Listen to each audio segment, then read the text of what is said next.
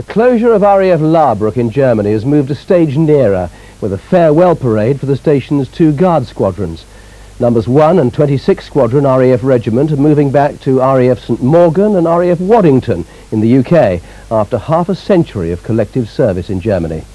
Their departure sets Laarbruch on the road to closure, which is planned for next year. But commanders say the future of the RAF Regiment looks secure.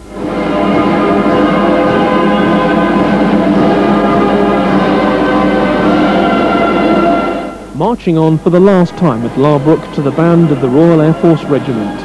The numbers 1 and 26 squadrons and 1 RAF Taxto HQ, this is their last act in Germany, in a role that's involved them here collectively for more than 50 years. Reviewing the parade, the AOC number 38 group, Air Vice Marshal Philip Sturley. He says the contribution they've made to RAF operations is immense. Since uh, the end of the Cold War, with the Gulf uh, with the Falklands uh, continuing our commitment there, um, both of the squadrons have been constantly on uh, deployment. And of course they've had tremendous support from the local people here and from their own families for these lengthy times away. It's also appropriate that they should say goodbye on the 80th anniversary of Armistice Day. One squadron has special reason to remember two of its own, SAC's John Baxter and John Miller Reid, who were killed in an IRA bomb attack at Nieuw-Bergen in May 1988. It was very much a chance for us to show uh, the squadron in a good light as it seems to have been at all times it's been out here. Um, also a chance to remember the two people who were sadly killed uh, in 1988 um, and a very nice way to mark the end of a tour in Germany. Today's parade and the open day which follows is aimed very much at the families who've played a major role in supporting the men in the countless tasks they've undertaken both in Germany and elsewhere, reflected in the static display. Among the work they'll long be remembered for is the flood relief effort when the River Maas burst its bank near Laarbruch in 1995. Many Dutch and German local people have good reason to be grateful to members of the squadrons. We got the shout and we were out there within literally hours. But uh, we were out there working for quite a few weeks on the flood relief, teaching the locals how to sandbag as well as doing the majority of it ourselves. But uh, the locals were very glad to have us there. And I think that was reflected in the British press as well. Both 1 and 26 Squadron RAF Regiment have much to look back on. More recently, their work outside Germany, supporting RAF operations in places like the Gulf.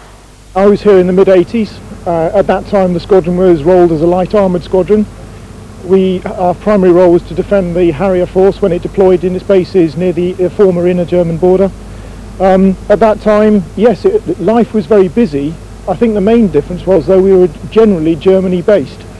This time round, the squadron was done six months in Bosnia, has only just recently returned from a two-month tour in Northern Ireland. Uh, we're getting out and about a lot more. The squadron has been here for over 22 years, and so um, people have enjoyed their time in Germany. I've got a lot of guys on the squadron that have been here for four or five years, and so yes, it is very much mixed feelings, but you know what it's like when you're packing up your house. The guys have packed their houses, they're ready to move, and we're looking forward to moving to Royal Air Force Waddington, but we'll look back at Laarbruch with some fond memories. The RAF Regiment's departure from Laarbruch is the latest and most high-profile sign of the station's demise, which will be closed by the spring of next year. But the future looks a bright one for the RAF Regiment, which only a few years ago was itself under threat. It is true that the regiment throughout its its history has had times when people questioned its uh, its its utility.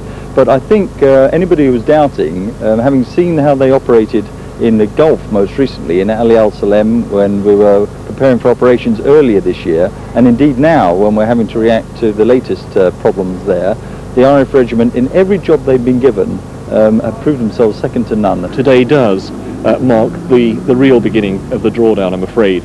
We've kind of held it at bay a little bit. We've had operational focuses which have taken our time and our attention uh, up till now, and those continue for the Harriers. But as far as uh, the Royal Air Force Regiment is concerned, and 1 and 26 squadrons in particular, uh, this is, I'm afraid, uh, the end, and we will miss them very much for all sorts of reasons.